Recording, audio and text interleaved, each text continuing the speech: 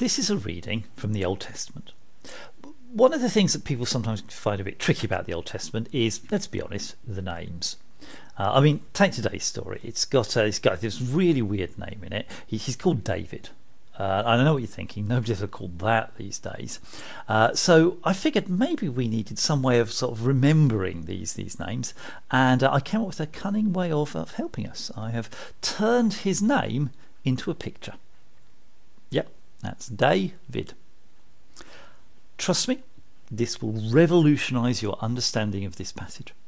It goes like this David again brought together all the able young men of Israel 30,000 of them. He and all his men went to Baalah. That's Baalah.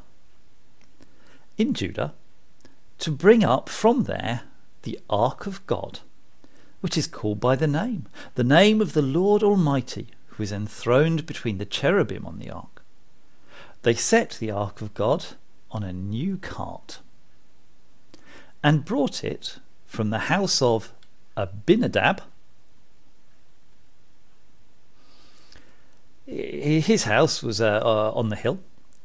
Uh, Abinadab's sons, that's Uzzah and Ahio, were guiding the new cart with the Ark of God on it. And Ahio was walking in front of it.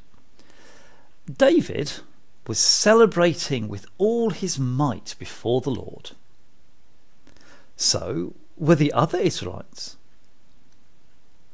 They had castanets, and tambourines, sistrums, cymbals, and lyres. When they came to the threshing floor of Nacon, the oxen stumbled. And Uzzah reached out and took hold of the ark of God. The Lord's anger burned against Uzzah because of his irreverent act. Therefore, God struck him down. And he died there beside the ark of God. Then David was angry because the Lord's wrath had broken out against Uzzah. And to this day, that place is called Perez Uzzah, which means outbreak against Uzzah. David was afraid of the Lord that day and said, How can the ark of the Lord ever come to me? He was not willing to take the ark of the Lord to be with him in the city of David. Instead, he took it to the house of Obed Edom the Gittite.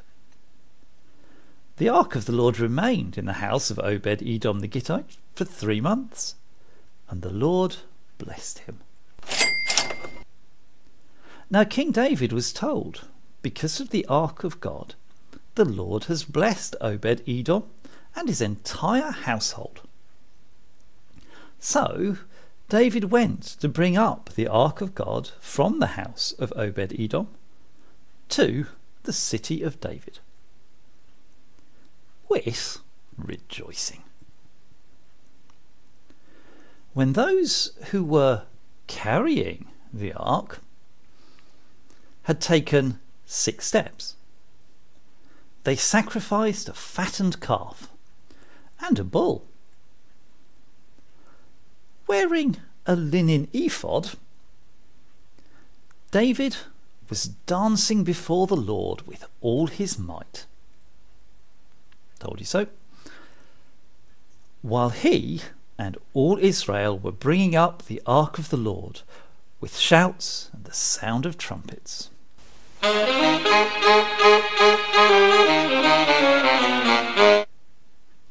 As the ark of the Lord was entering the city of David, Michal,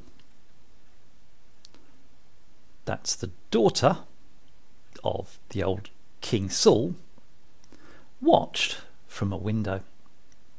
And when she saw King David leaping and dancing before the Lord, she despised him in her heart. They brought the ark of the Lord and set it in its place inside the tent that David had pitched for it. After he had finished sacrificing burnt offerings and fellowship offerings before the Lord, he blessed the people in the name of the Lord Almighty. Then he gave a loaf of bread, a cake of raisins, and a cake of dates to each person in the whole crowd of Israelites, both men and women. And all the people went to their homes. When David returned home to bless his household, Michal, daughter of Saul, came out to meet him and said, How the king of Israel has distinguished himself today, going around half naked, in full view of the slave girls of his servants, as any vulgar fellow would. David said to Michal, It was before the Lord who chose me rather than your father or any one from his house when he appointed me ruler over the Lord's people, Israel. I will celebrate before the Lord. I will become even more undignified than this, and I will be humiliated in my own eyes. But by these slave girls you spoke of, I will be held in honor.